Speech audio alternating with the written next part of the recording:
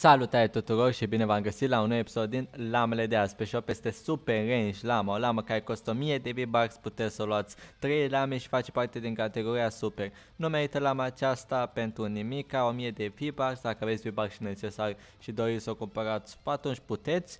Este fix uh, acest arc și este doar un arc, dar arcul este de obicei bune, acesta nu e atât de bun, dar e decent, dar tot nu merită. Pur și simplu stă arme pe care puteți luați gratis din misiuni doar așteptați, nu faceți această, nu luați această lamă, nu merită. Astăzi este doar o misiune de V-Bucks, Stoned, Power 9, un Atlas care dă 25 de V-Bucks, doar atâta, fără survivori legendari, fără nimic. Și upgrade lama care, dacă e ceva legendar, merită. Salut tuturor și ne vedem în la următorul episod din Lamele de azi.